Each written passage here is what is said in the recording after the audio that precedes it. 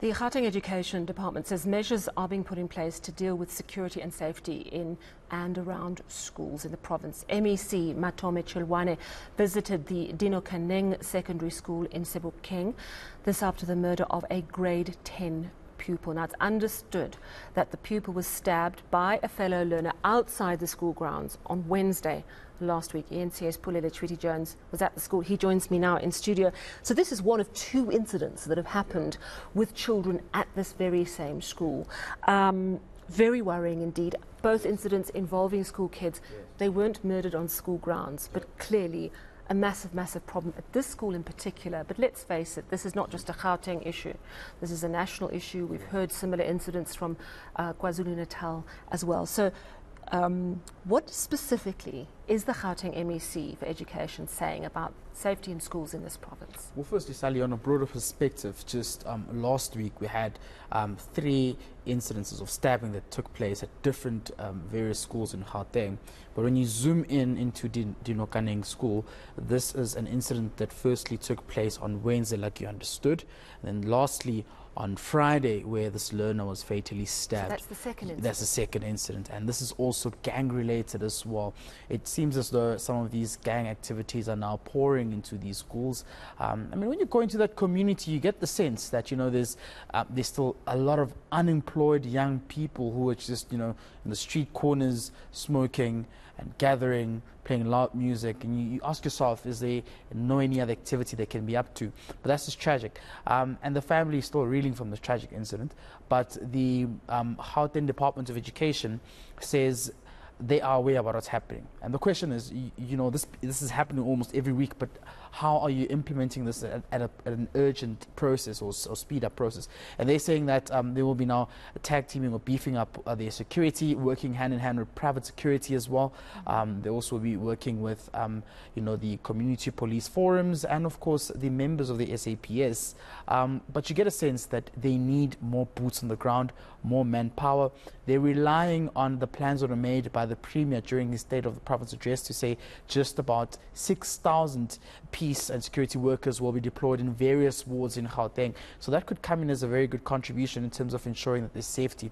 But they're also saying that um, they're quite worried because some of these, you know, incidences that are taking place are happening outside the school, like you rightfully said, which is also now um, going contributing as to it's pouring into these schools as well. So you find that there might be a gang incident that just took place outside the school, but then perpetrator will then go later into that school and stab that learner mm, as well, mm. causing terror into that school. So it's quite a huge concern, and they're really saying that they're doing all they can to fight um, this gang violence that's taking place in various communities. But let's just take a listen to what the MEC had to say.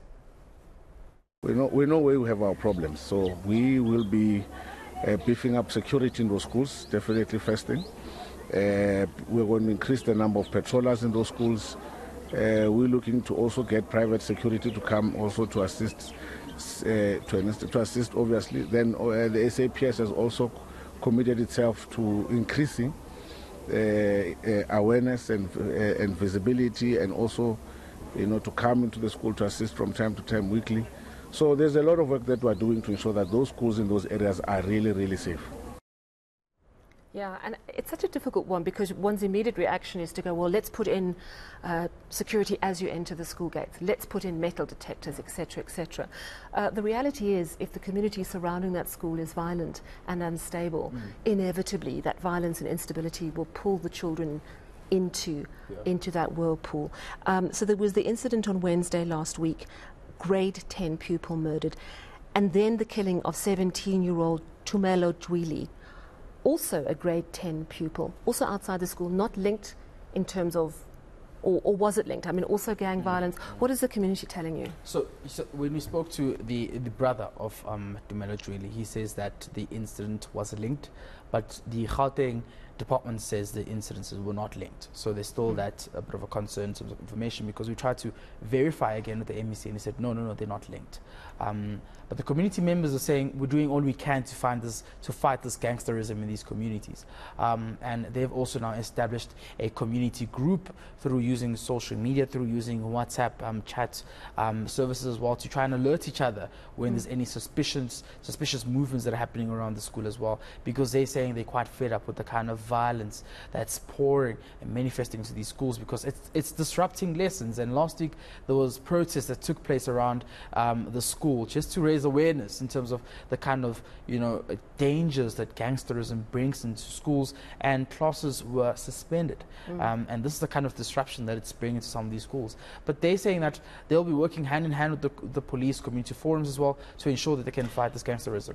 Regarding these two these two children that were killed. Um, are they are there suspicions that these were kids who were being drawn into the gangs, yeah. or is it a situation of just being in the wrong place at the wrong time? Yeah, well, there's, there's suspicions that they were drawn into the gangs. Okay. Suspicions that this could have been as a result of retaliation as well, okay. trying to control, you know, turf and the areas and, and, territory within that community as well. But the sad thing is that it's pouring into schools and innocent, um, you know, pupils having to witness this is actually yeah. quite traumatizing as well. These yeah. children are being yeah, exposed. Yeah, this is really bad. Yeah. But let's just take a listen to what the community member had to say. Man, as the community, we are very concerned about the, uh, this barbaric and uh, the crime that is happening in our school premises. So, but at least as as community, we have tried uh, earlier in the opening of the school to search all the schools. But you know, the children will be the children. So, that is the concern. We find so many things that is devastating the community: drugs, heroin, weapons even though we have found them, but they they put them outside the school, and these events they try to fight outside the school, and uh, which is concern to our community. But I think we need to stand up to make sure that we protect our children during the learning process. Yeah, I mean it's so incredibly it tragic. Really two, sad. two pupils in one week from the same school. I mean, you remember just last year we, we covered a story in Kalabosh as one Vlakfontein, similar issue again, gang related, student stabbed.